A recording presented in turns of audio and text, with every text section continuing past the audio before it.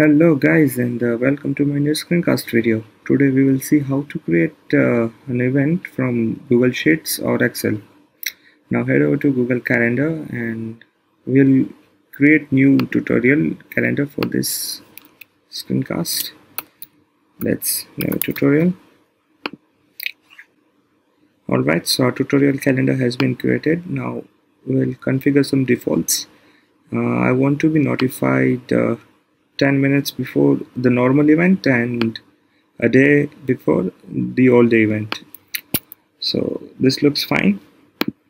Now let me go to google sheets. This can be excel as well uh, but the location i mean the position of this particular column has to be like this only. So the subjects will be your uh, title start date start time uh, all the event doesn't need start time or end time. Your description the location and privacy setting of the particular event. So we'll add some events. That's fine. Let's create seven events. Start date uh, keep in mind that th this particular date is in uh, mmddyy format. So 410 2020 okay that's fine.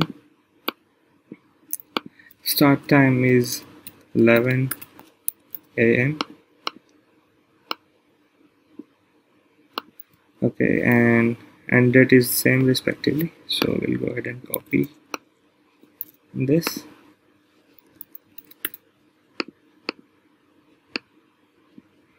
And each event is of one hour only now this all the event column text boolean.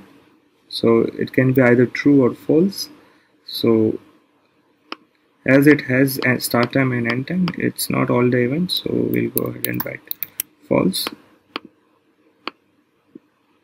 Alright that's fine and uh, we'll copy this for subject. Now we'll enter location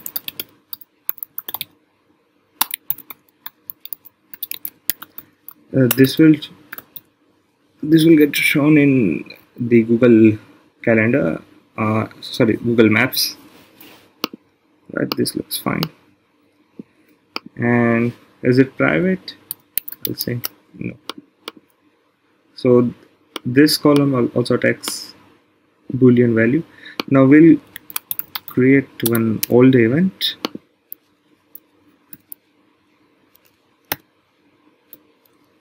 keep in mind that this is a mmddyy format. You get the idea. As all the events does not have start date or end date we'll skip them. And 20 20 20 that's fine. Uh, as this is a all day event uh, we'll write true for the particular event. And we'll write all day event for the description venue is same and privacy is true. Alright so we do uh, we have created uh, eight events right here. Now what we'll do we'll export this uh, particular spreadsheet in CSV format.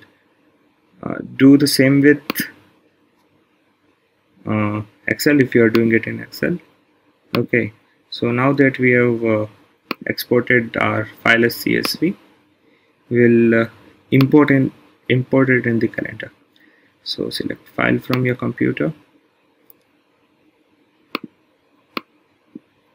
There we go. And don't forget to change the calendar from whatever calendar you're on to the calendar you uh, you recently made. So in this case it's tutorial and we'll hit uh, import. So as you can see 8 out of 8 uh, events has been imported. So it's all good. We'll hit on ok and let me hide all these events.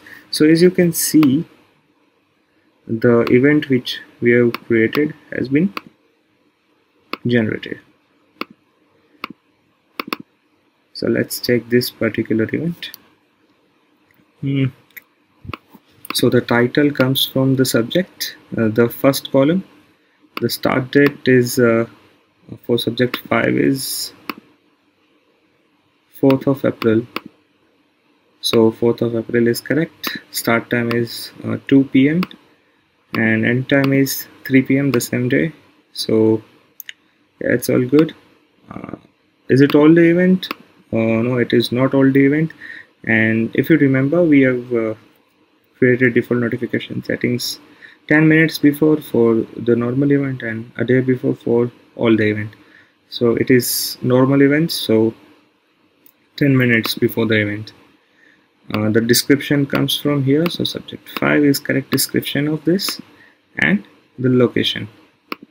Location comes from here. Right. So if we click on the location it takes us to Google Maps so it's pretty neat feature I'd say. So yeah I mean that's uh, pretty much and yeah one thing. So this is all the event. It runs from 17 to 19th so 17 to 20 but uh, it ends on 20 right? So it's om omits 20 so it's technically correct one. So it runs three days. And yeah uh, the description should be all the event uh, description is all the event and notification is uh, a day before. So this is how it works. Uh, so yeah if you've enjoyed uh, watching this tutorial give uh, thumbs up or whatever that there is. Subscribe to my channel and stay tuned for more videos. Thank you so much